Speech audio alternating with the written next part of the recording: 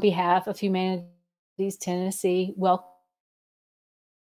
to this session of the Southern Festivals in conversation with Simon Van Booy and Ed Tarkington. My name is Lynn Newcomb, and I will be the host for this session. I'm a volunteer, and this is about my sixth time as session host. You too can volunteer for the festival and meet the authors and be a part of the team that produces what I like to call the best event in Nashville. For this session, if you're joining us live on Facebook um, Live or YouTube, please post your questions in the comments section at any time. Uh, one from the festival staff will pass those along to me and we'll discuss them with the authors. Uh, we only have about 45 minutes with the authors, so don't wait too long. Uh, before we get started, I'd also thank the festival's key sponsors Metro Nashville Arts Commission, the mm-hmm. Content Group, Tennessee Arts Commission, Vanderbilt University, and Parnassus Books.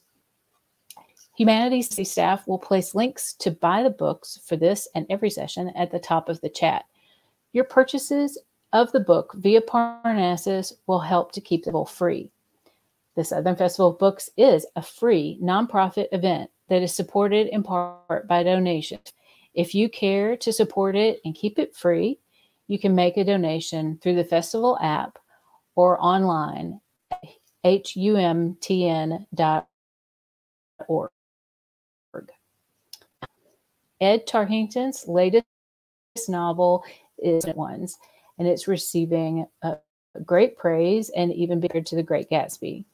His debut novel, Only Your Heart, was an ABA Indies Introduced Selection, an Indie Next Pick, a Book of the Month Club main selection, and a Southern Indie Booksellers Association bestseller. A regular contributor to chapter16.org, his articles, essays, and stories have appeared in a variety of publications, including the Nashville Scene, Memphis Commercial Appeal, Knoxville News Sentinel, and Lit Hub. He lives here in Nashville, Tennessee. Simon Van Booy is the award winning and best selling author of 15 books that include Night Came with Many Stars, The Secret Lives of People in Love, Love Begins in Winter, Everything Beautiful Began After, The Illusion of Separateness, Tales of Accidental Genius, Father's Day, and The Sadness of Beautiful Things. Two novels for children, Gertie Milk and the Keeper of Lost Things, and Gertie Milk and the Great Keeper, along with three anthologies of philosophy Why We Fight, Why Our Decisions Don't Matter, and Why We Need Love. He has written for the New York Times, the Financial Times, the Guardian, the Times, National Public Radio, and BBC, and the Chinese edition of Elle, which is very interesting. Um, so, welcome, Ed and Simon. Um, so you, glad to have you here. Um, Ed, so you're you live here in Nashville, and Simon, is this your? Uh, have you been to the festival before, or is this only in dreams? Wonderful. Well, we're glad to have you both here. And um, we were talking a little bit before that we'll be glad, hopefully next year, that we'll be back in person and not um, on, that we're very fortunate to have this streaming service, but we'll be glad to be back um, on the plaza. Um, so uh, we talked about uh, which which one of you would like to to start and read a little from your uh, book this afternoon. Uh, Simon, you want to start reading from uh, Night Came with Many um, Stars? Can I borrow that, please, Lynn? sure, I, here you go. That's great. Um, it's yeah, it's nice to be here with with um, everybody, and definitely with Ed, whose books are fantastic. Um, and Lynn, thank you for volunteering, and it's lovely to see. And uh, I can't see everybody out there, but I know you're there. So um, hello. Um, so I will read now a little bit from my book. Um, you know, just a short, like, you know, 120 minute excerpt. Um, let's see. So uh, don't worry, I'm joking. I don't, don't log off. Um, I'll, I'll read from page 152. Um, and this chapter is Heather. Uh, and it's every chapter is a sort of a different person in some ways. Um, so this Heather, 1999. I'll read for about, you know, two, three minutes. An hour before closing, the restaurant already empty. Heather went from table to table, turning over clean coffee cups one by one, then laying down paper placemats. When that was done, she sat at the counter and wrapped silverware in paper napkins, fastening each bundle with a sticker. Her feet hurt, but she'd soon be in the car going home. She could take her shoes off then and drive barefoot through the darkness. It was Halloween night, and the dining room was decorated with ghosts, ghouls, and witches' hats. Alone with empty tables, Heather wondered if they were real ghosts and if they watched people. She once found an envelope when cleaning out a cupboard in the supply closet. It was a pack of photographs from New, Year's Eve 1957. When she saw the people in those pictures, Heather knew their lives had come and gone. Those who had lived out their days in the town would now be in the cemetery with tiny snapping American flags in the ground over where they were buried. The waitresses in the photographs had matching green dresses. The men wore dark suits or overalls, carried burning cigarettes. Many years ago, there had been a factory and the town was prosperous. Heather wondered if the people in the pictures sensed their time of abundance would pass, or did every day seem new and unbreakable? The hardest thing about getting old, a customer once warned her, was always being shocked by the face staring back at you in the mirror. When Marvin appeared from the kitchen, he was wearing a satin Louisville Cardinals jacket over his baggy kitchen whites. He was a tall, deliberate man with a confident, slow way of speaking. He carried several white containers in a plastic bag, most likely French fries for his children. In his other hand was a box of menthol cigarettes and a plastic lighter held together with a rubber band. I'm taking off, Heather. I closed the kitchen and left a piece of Salisbury steak in foil for your mama. You're a sweetheart, Marvin. I love you. Don't forget it now. I won't. Happy Halloween. If Clyde sees it, then I know, Marvin. I won't forget. I promise. How's she doing anyway? Mama, she's okay. She misses him. We all do. The cook turned to go. Want me to flip the sign on the door? No need, Marvin. I'm right behind you. But there were still things to do, and the sudden quiet was strange and penetrating, as though in the absence of people, Heather felt them more. I think that's enough torture um, for you all out there. Thank you. Uh, thank you. That was lovely. Uh, like the the, the uh, accents that you pick up too. That was. We'll, we'll come back around to that. I think. Um, do you want to go ahead and read now, Ed, or? Sure. Yeah, I'll be happy to do that. Uh, first of all, just say thank you, Lynn, for doing this. Uh, I'm so uh, flattered and honored to be reading with you, Simon that was fantastic. And uh, I, I, will also say that as a Southerner, you know, and I know you've lived in the South uh, for periods of time, so you actually can pull off a Southern accent, and and it, and it sounds totally authentic. So uh, that is high praise, and you're a you're a beautiful writer, and and I've admired you for a long time, and thank you for for sharing uh, this time with me. Um, I'm just going to read us also about the same length of uh, a piece from my novel, uh, The Fortunate Ones, which came out in January.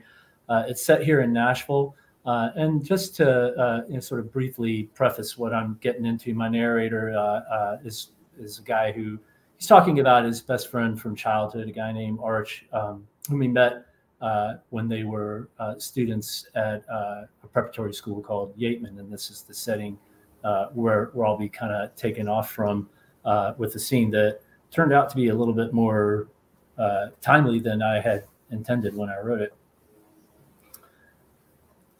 The last week of May, Arch gave the commencement address at Yeatman. Arch knew what a powerful platform the lectern at a Yeatman commencement could be a captive audience, which included many of the city's most affluent and influential citizens. He was not naive to the length of his odds. Arch's sole experience in politics had been a term on the school board, where his most memorable accomplishment had been a concerted effort to blow the whole thing up. Citing irreconcilable dysfunction and well intentioned but incompetent members, Arch had sent a letter to the mayor's office and the news media calling for a resolution to disband the elected school board and return to a system where the mayor appointed representatives of his own choosing. Speaking as one myself, I believe our school board representatives want what's best for our young people, Arch had written in the letter. But as a whole, we lack the experience, expertise, and available time to accomplish our aims. Off the record, he'd been more blunt. It was an idiot circus, he told me, run by some of the stubbornest jackasses who ever stumbled out of the barn. The initiative died, but its failure turned out to be a boon for Arch. The newspapers painted him as a truth telling idea man. He didn't have the support of the mayor's office or the city council, but he had the papers, especially the Herald, owned by Engage South, a media company belonging to a Yeatman alum. And the television stations could never resist a pretty face. Arch looked like a savior to the white working class, just as disgust with politicians was peaking. Now, how did a guy like Arch Creigh, born into wealth, educated privately from pre K through graduate school, married to the daughter of a billionaire, as handsome as a film star, with family ties going back almost to Jamestown, become a man of the people. After all, the people were the ones who shopped at Walmart, who spent their lives traveling back and forth between backbreaking jobs and weary inertia at home, who ended up being forced to live off disability and Medicaid benefits. How on earth could the people see a guy who lived on Belle Meade Boulevard as their champion? There is nothing in this world to which people connect more willingly in uncertain times than the appearance of genuine certainty. If there was one true thing that could be said about Arch, it was this. He seemed so sure of himself that people couldn't help but believe in him. That's it. Thanks. Um, I often like to see the the sort of themes that the the book festival staff come up with for for different conversations.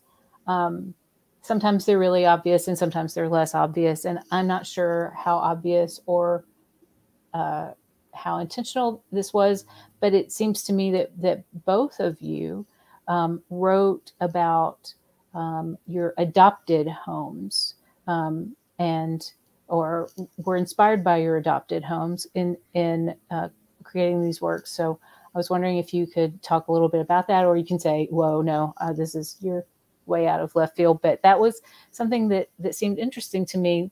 That um, that you took the voice of the people of communities that you had adopted as homes and lived in for a while, and and and and still do live in head, mm-hmm. and and um, and sort of created these stories about them, as opposed to the the trope of you know write what you know. Right.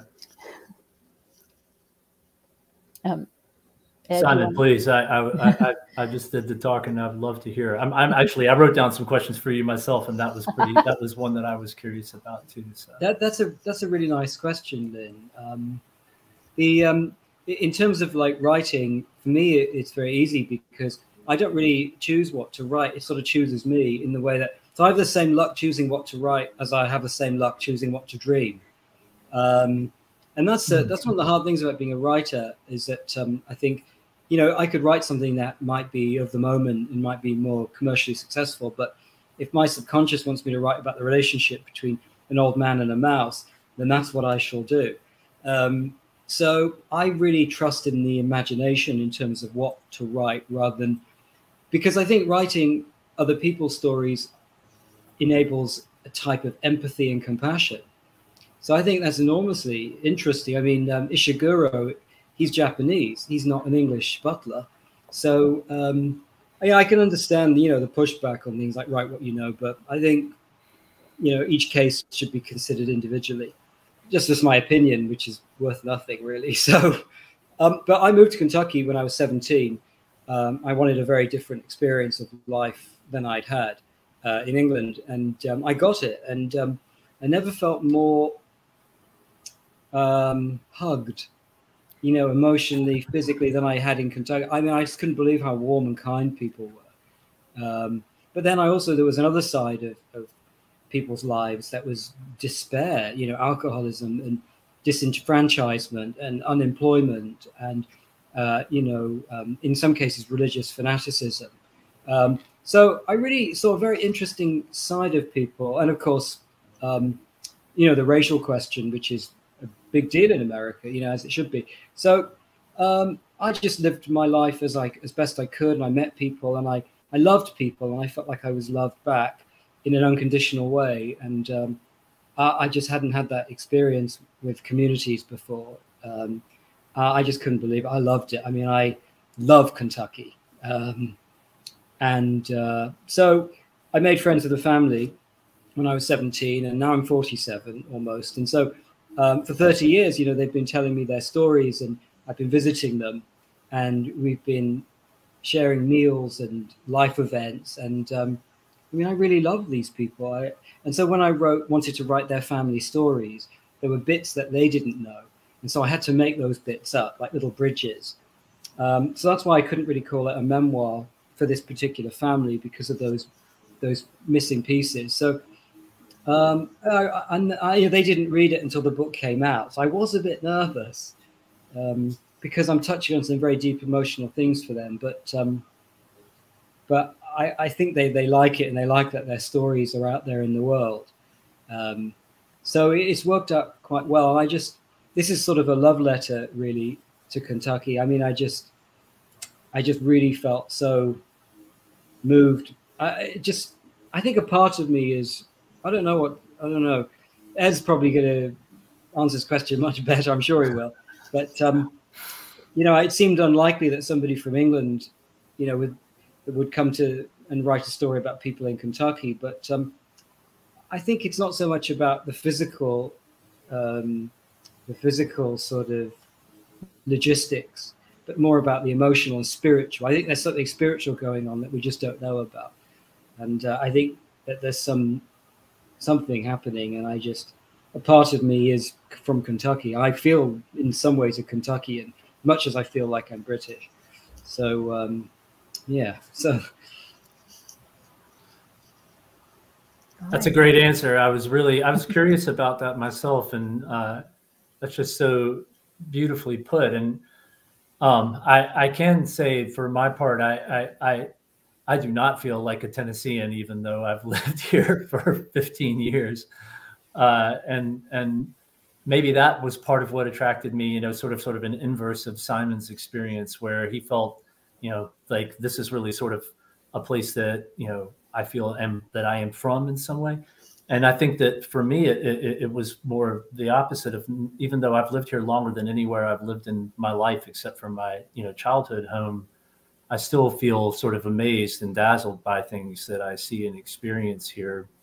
And I just, I, I, from the moment I came here, one thing that I think is totally identical about Simon's and my experience is that uh, from the moment I arrived in Tennessee, I felt like I was in a, a, kinder place than I'd ever lived before. And I mean, just when it, even driving down the highway, you know, people kind of let you in when they're coming off the off ramp, which has not happened, you know, where I came from. And, you know, people when they go into the gas station to, you know, get a drink after we fill up the tank on the way to where we were living, would, you know, give me a blessed day. And I just thought, gosh, everybody's really like, they're really nice. And I did, you know, I, I don't know that I necessarily have ever felt completely at home, but I have felt welcomed. Um, and so I love it. And at the time that I started writing this book, I thought this was the time when Nashville really started to get in the national news media a lot. And, it, you know, all these things were being written about, you know, the I was living in East Nashville at the time, which was like the cool hip place that was always in the New York Times. And we'd always joke around about, you know, when some new restaurant that was really cool would open up, we'd be like, please don't write about it New York Times because then it's going to be really hard to get a table, which inevitably happened. Uh, and then there was a TV show, which, uh, you know, was kind of a, a, big deal for a while there. And so I just sort of thought, oh, I'm going to write a book about Nashville that is what it's really like, right? And TV show is not what it's like at all. And I don't know if that was a, you know, the smartest or, or, or, or safest decision, but by the time I uh, really started to think about it, I was, you know, under contract, so I had to finish it. Uh, and uh, again, I, I, still do. I, when I started, I thought, you know, this could really be happening anywhere, especially in the South uh, the kind of dynamics that I'm writing about. It just is a convenient thing for me to, to write about a place that I'm really interested in, that fascinates me. But now I don't think that it really could have been anywhere else because I think Nashville really is, in a lot of ways, um, you know a sort of I don't know what's the word that people use, uh, uh, sort of a bellwether um, in terms of of the South because we've had we've got such a. I mean, I'm one of the people who moved here from from out of state, uh, and then you've got kind of the old genteel Southern population, and then you've got kind of the rising, uh, you know, uh, what used to sort of be the the underclass or the proletariat that's now your kind of you know upper middle class and and and it's pretty you know we, we tend to tilt democratic and city elections but it's not like there aren't a lot of conservatives in nashville. And and so all of the tensions that seem to be sort of building in us culture uh, and and really in a kind of critical way have been simmering here ever since i got here. And i think that you know, it turned out for me to be a very convenient way to write about how those things get into the lives of just you know normal people. And um, because what I'm really more interested in anything else is this character and emotion, and which is exactly kind of what Simon was talking about. And and so what I wanted to see was you know how these kind of dramatic political or social or cultural things, what they matter, how they matter in the lives of you know you and me. Um, and that was you know convenient for me. And I'm, I'm proud of where it ended up. And fortunately, uh, no one has uh, told me to my face that I got it wrong. So uh, that's that's where I am. Uh, well, I yeah, I my response response to that, I went to Harpeth Hall, the private independent college preparatory school for girls. So right. uh, you got a lot of it right eerily right. And then there were parts when I was like, oh no, that's something different. So it was it was uh, it was fun to read in that it it uh, recognizing things and then recognizing, you know, the fiction part. Right. Hopefully, a lot of fiction. One hundred percent. Yeah. uh, but and and uh, both of of the books uh, dealt with racial issues of, of in a way of their time. Um, uh, and looking back on it, it's obviously different than what we're working towards now. Um, but that that was another thing that I thought was interesting in in um, the progress and the the touchstones of racial issues that both of your uh, books um, addressed.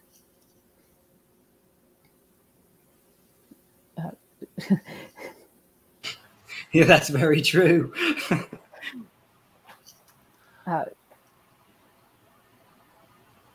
I, and I, it may have just been me, but for example, that there were reference in in the in Simon in, in your uh, in your book, it was there were discussions about racism, or there were acknowledgement of the racism that was happening in the early part of the 20th century. That yeah. it, it, just um, well how, how did how did you how were you able to present that so that it, it wasn't uh, looking at it from today's perspective um, well i try to present it in the sense of um, in the sense of i mean i've experienced both. I mean in america i'm as british as um, rhubarb and custard right? Um, but in Britain, I mean, my grandmother is an immigrant from Jamaica, so I, I, my whole family experienced racism growing up. But I mean, it's not something I really write about because, you know, I uh, it's not something that really defines who I am in a sense. If that, you know, um, it's that there'll always be hateful people, and that's who they are, and I, I don't really want to involve myself with them. So, um, so you know, growing up in some cases was not easy. Um, and uh, and then when I moved to Kentucky, of course, I don't laugh or mock me, but my dream was to be an American football player. And um, I know I'm small, you can't see, but I'm I'm under average height. And um, and uh, you know, it was my dream was dashed when I saw these like these amazing, like muscular, like fast, like brilliant athletic men, you know, who outclassed me physically in every way.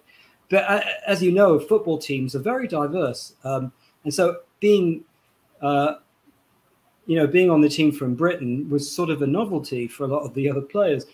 Um, they're like, "You should be on the soccer team. What are you doing here?" And I was like, "Oh, I don't like soccer very much. You know, I like running around in in in these all in this all this plastic gear and jumping on people. I love that." So um, I would go home with a lot of the, the different players at the weekends. So my my friends were like, it represented America, and I got to see almost every neighborhood in Kentucky. Um, you know, and it was it was so. You know, I heard stories from parents and grandparents when I I go home because I'm British, so they would tell me this is what it was like here in the 50s. This is what it's like now, and so a lot of that went into the book. So in a sense, the book is me serving my readers, serving the people of Kentucky, and telling the stories that were told to me and not imposing any of my own views because my own views are i mean i don't really put any importance on my opinions or views because they're constantly changing as i learn so i try not to hold opinions because otherwise i feel like i'm an idiot more of an idiot than i already am so um, really this book was taking all the stories that have been told to me by everybody friends of mine who are cherokee and who are now like drilling um, oil lines in you know you know, out in Oklahoma. And uh, everybody I met, and I, I feel like they trusted their stories to me. And I, my, my goal was to have a novel which really represented a cross section of people in Kentucky and told their stories in, in, in an authentic way without any kind of um, hidden objective on my part, if that makes sense.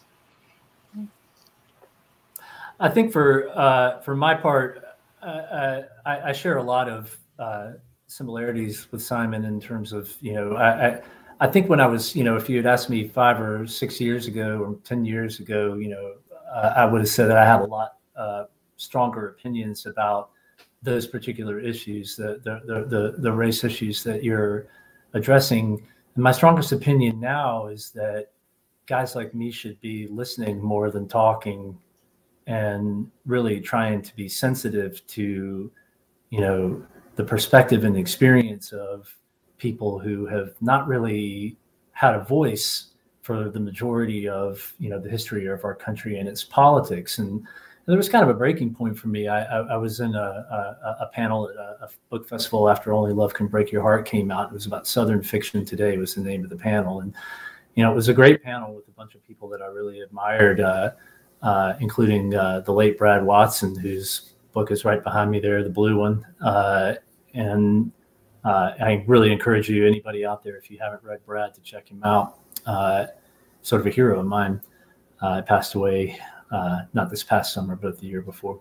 And uh, you know, I was so proud just to be on a panel with you know my hero. I, you know, it was like you know being for a writer for for for me anyway. It felt like being invited to open up for Elvis or something like that. Uh, and at the end of the panel, somebody in the back sort of stood up and said, "You know, what do you think it says about Southern fiction today that uh, the this panel consists, you know, of five white males and one person of color and one woman, and that's the same person?"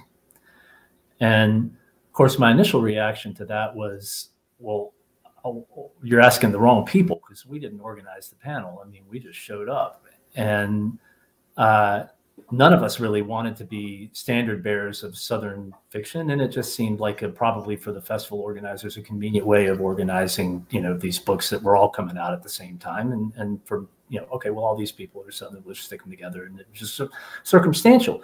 But given the situation, I mean, it was kind of one of those moments where I was like, okay, why am I so? Why, why does this question make me feel so uncomfortable? And I thought about it for a long time, and it kind of hung in my head. And I, I talked to a lot of people about it, and and it got me to thinking about how you know you know that type of voice the voice that you know fits that the demographic to which i belong has kind of you know dominated the conversation in literature since its inception.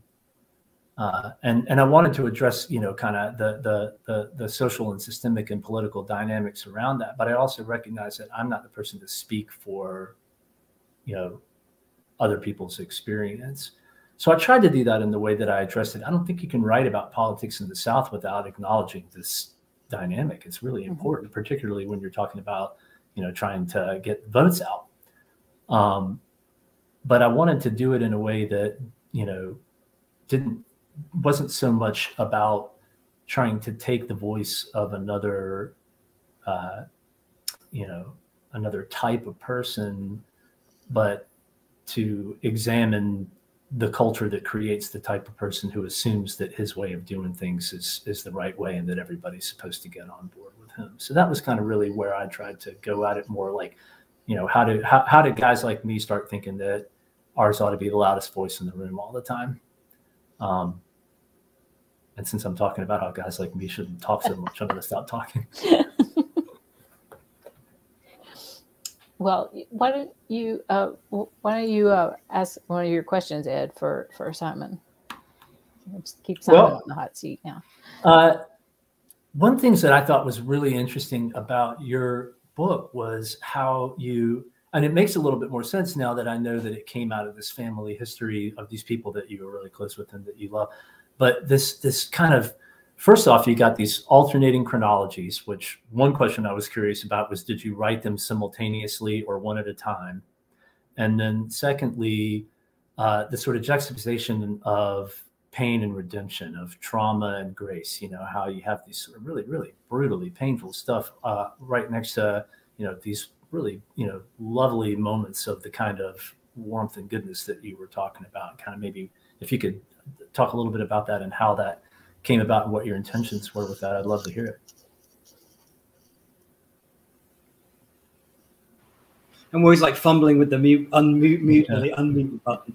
Um, yeah, that's a very good, very good question. Uh, the uh, I, I, suppose I wanted to. I mean, the narrators really chose me, um, mm-hmm. in the sense that when I started writing the stories down, I just felt an emotional and spiritual connection to certain voices.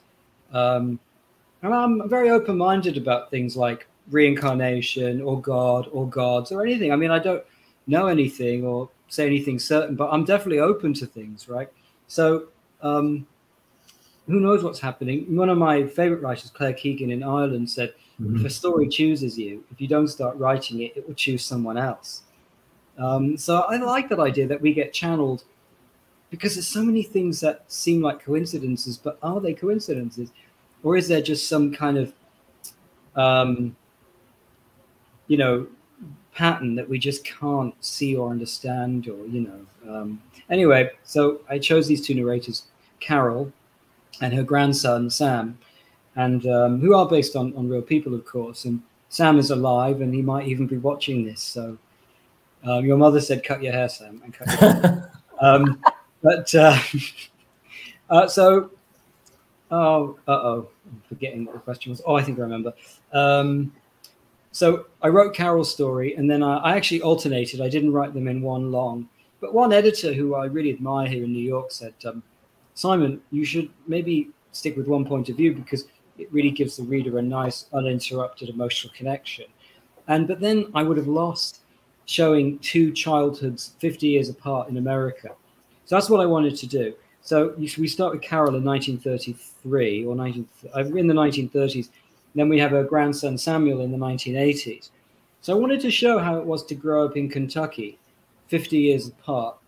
Um, and then, and then, you know, halfway through the book, they merge, and the reader learns that, you know, Samuel is Carol's grandson. Um, and they, you know, they don't really have a good relationship because Carol is a very damaged person.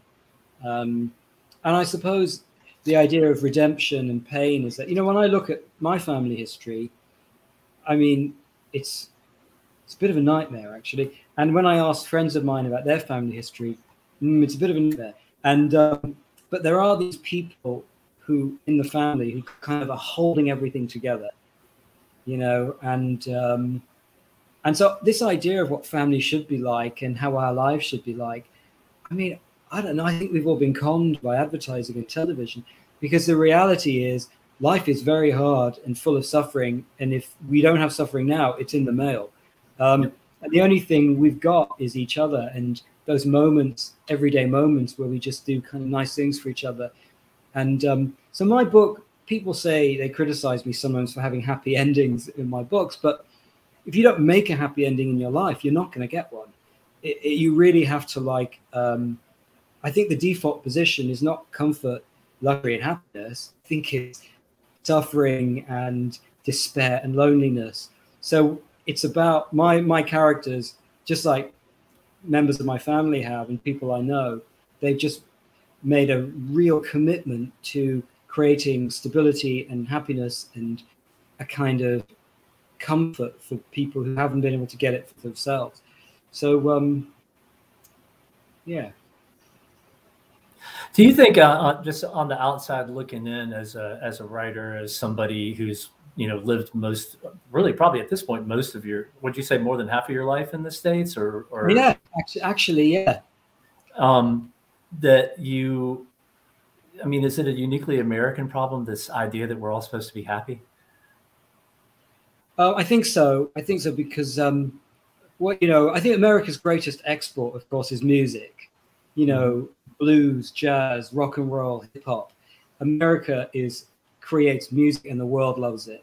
Um, but I also think TV is a big export. I mean, I grew up watching. I grew up in a village in Wales. Okay, watching the Dukes of Hazzard. Like that's kind of weird, right? And um, and just bizarre things like T.J. Hooker and Street Hawk, mm. all the a Knight Rider. God, I love that.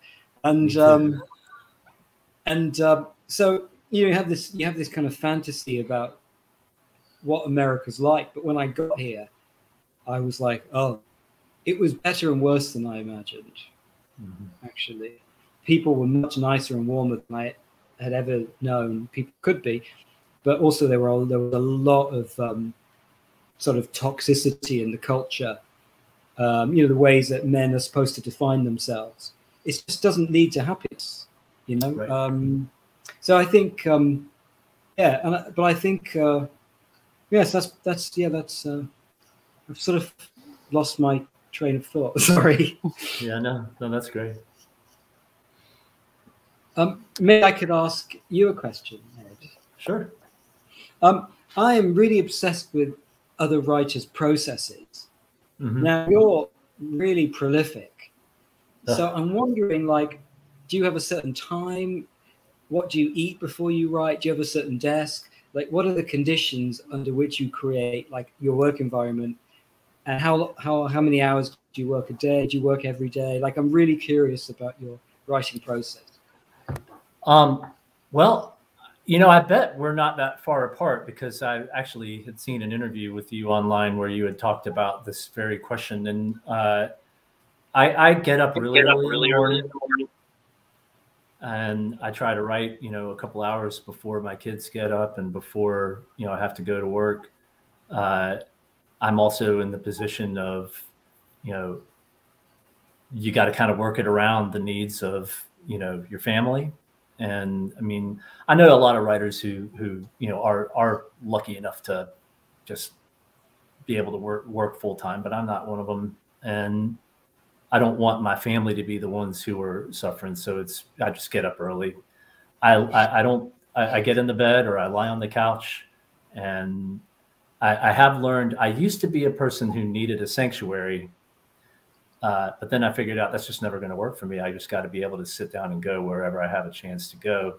And sometimes if I have an hour at work, I'll, I'll, you know, pick it up and, and go some more. But I, I am really, I do think that, and maybe, you know, I'd be interested to hear what you have to say about it, that after you've been at it long enough, like when I was an apprentice writer, kind of working my way up to the Gladwell 10,000 hours, I really did need a more disciplined environment and I needed a kind of a ramp, like a warm up. Like I'd have to sit there and read for a while, or meditate, or or or, or whatever, have rituals. But once I got to that point where I felt like I was in shape, uh, I don't I don't really need that anymore. I can just kind of go, and I don't worry that much about if it's bad because I know I'm gonna have to change it later anyway. Mm.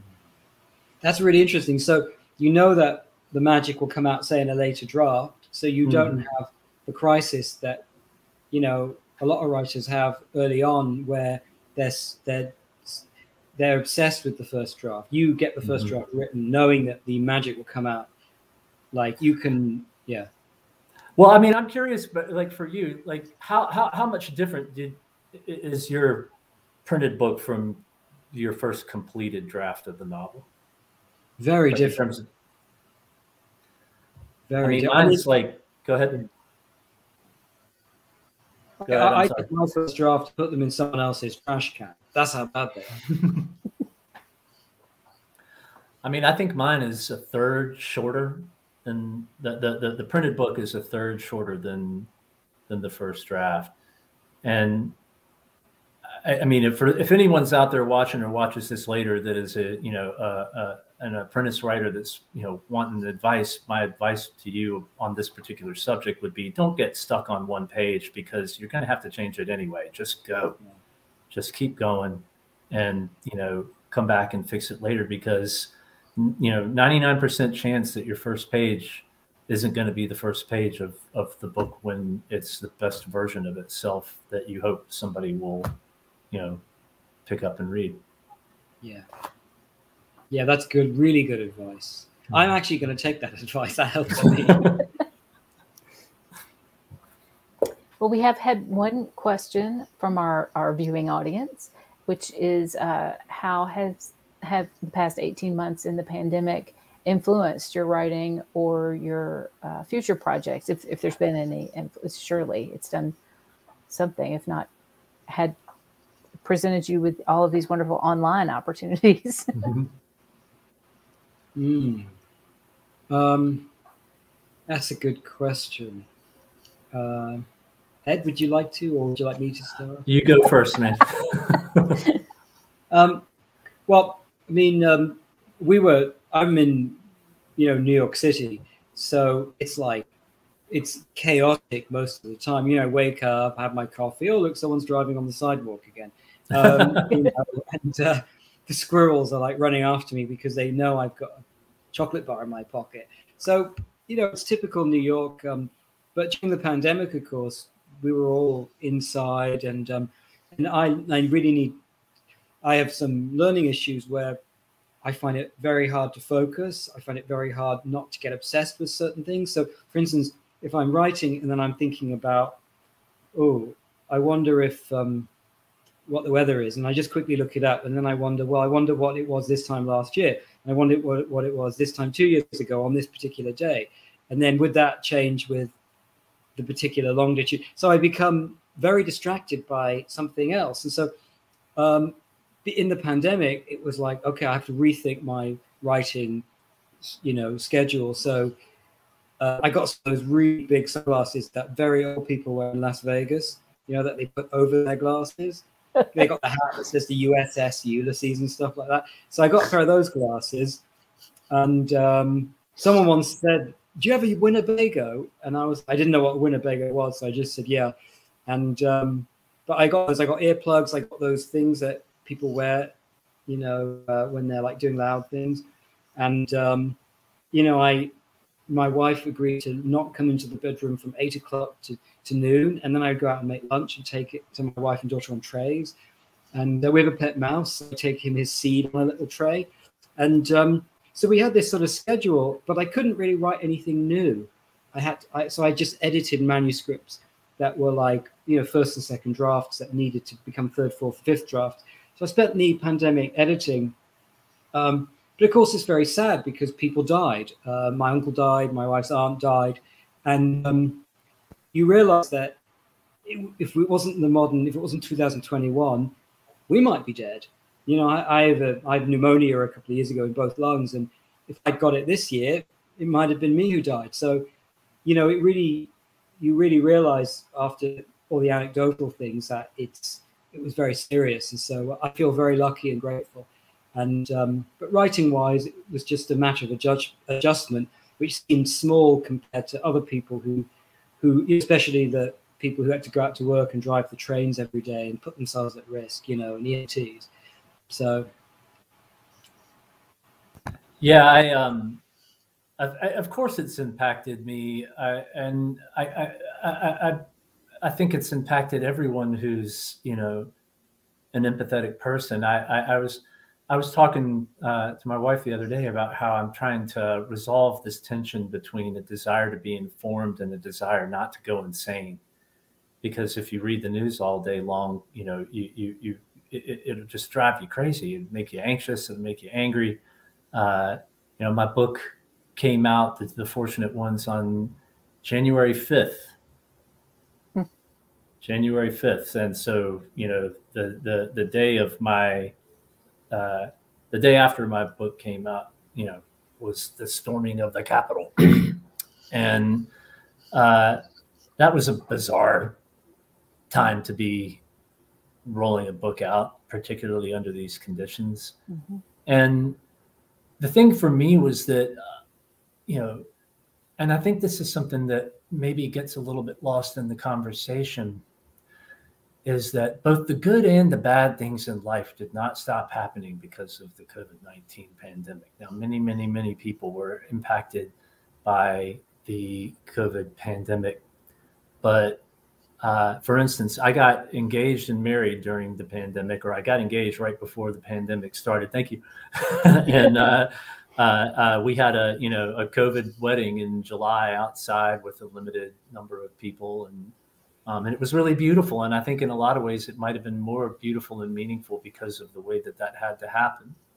But a month after I got engaged, uh, my brother-in-law of 20 years uh, was diagnosed with stage four colon cancer and you know it was you know I, am living through this time where you know one of the most beautiful and amazing things that has ever happened to me is going on meanwhile you know absolute number one with a bullet worst thing that's ever happened to my family is going on and my sister and and and my niece and nephew my, and nephews are, are you know and, and my brother-in-law are going through you know uh, you know a terrible terrible tragedy uh, uh, you know, many many people get a reprieve there. Unfortunately, that was not the case for my brother-in-law. Um, we lost him in August, and all of it, you know, everything with the pandemic for me was happening around these two huge major life events. One of which is just full of joy, one of which is full of sorrow and and, and anxiety and and hope, but also you know dashed hopes and and um, and then in the middle of all of that, you know you got what's going on in the news which for for many many many families that was the the tragedy that was the crisis that was the thing uh, but you know life didn't cease because of that. And you know in, in, in good or bad ways completely unrelated to, to covid-19 or politics. And that was really bracing for me. But also I, I you know my lack of productivity or my you know scattershot productivity over the past 18 months has way less to do with the covid pandemic than it does with these other things. And i think that there are probably a lot of people out there who are in the same situation where you know they're uh, you know their relative who's struggling with depression or illness or or some other sort of tragedy didn't stop happening because of quarantine. In fact a lot a lot of times it got worse. Uh, and people fell in love and people had kids and and there was great joy and um, you know I think it's it's something that I, I now see as being you know a, a, really important lesson for me about how no matter how bad things are going you know in the news the the the, the things that happen in the house things that happen to the people who love each other they're still happening and that has nothing to do with you know what's on the cover of the New York Times. Mm-hmm. It's beautifully put, Ed. Oh, uh, I'm so sorry for your loss. Yes. Thank you. The one thing I'll say about about the news and newspapers is um, I haven't picked up a newspaper for about 17 years, uh, and I haven't watched TV, news TV for about the same time because it makes I couldn't be a writer and be informed. So, for instance, my wife thinks that's quite irresponsible of me no, I don't read any newspapers. I don't like them, and I don't like any TV except you know shows on Netflix, stuff like that. But no network stuff, and because it makes me very anxious, very nervous. It kind of fires me up one way or another. But I'm not, you know, you know so I, I can't write books and live in the books and have the drama of the characters and have that too. I also feel like I'm being manipulated and stuff because they'll say like I overhear sometimes if I'm in a, a restaurant, they'll say, you know, you know, new virus sweeping the new not virus, bad example, but the new trend sweeping social media for kids. What you need to know to keep your kids safe after the break. So you've got to watch commercials, get to something that could potentially save your kids' lives. That feels to me very manipulating. So, but that's just my opinion. So I don't like any newspaper, any TV. I, I just I, I, read, I play video games, and um, I watch some shows on on, on, on Netflix. You know, but um, but if anything important happens, my wife tells me, or I actually see it from the window. Like there was a car floating down the street a couple of weeks ago because of some like really big storm, and literally the car was floating down the street. So um, yeah, a lot of writers say to me, "What do you do about the anxiety of like?" I'm like, look, you can't do everything. Some people know how to do CPR, some people don't. Some people know about this, some people don't. There's only a certain amount of time in the world, I think. You know, so you've got to figure out what it is that inspires you. Simon, I think when I get off of this, uh, the first thing that my wife is going to say to me is, "Don't ever read a newspaper again. Be like Simon." so, you know, if your wife says you're irresponsible, mine would be like, "No, be like that guy. Quit reading the news." So. Um, well, I think I think that's the note we end on this afternoon. Um, is just stop reading the news and and read some good books like that's like, right. like these two. The Fortunate Ones, which we have here, and um, uh, Night Came with Many Stars. So, uh, good reads to uh, avoid the news for sure. Thank you. Thank you so much for being here, both of you, remotely. And um, hopefully, we'll see you next year on the plaza, uh, live and in person. Um, That'd be great. I'd like to thank everybody for joining us this afternoon and thank the festival sponsors Metro Nashville Arts Commission, Ingram Content Group, Tennessee Arts Commission, Vanderbilt University, and Parnassus Books, where you can purchase the books if you haven't already. And um, we'll see you next year. Thank you so much, Lynn. Thanks, Lynn. Thank you, my pleasure. Thanks, my pleasure, really. Next year.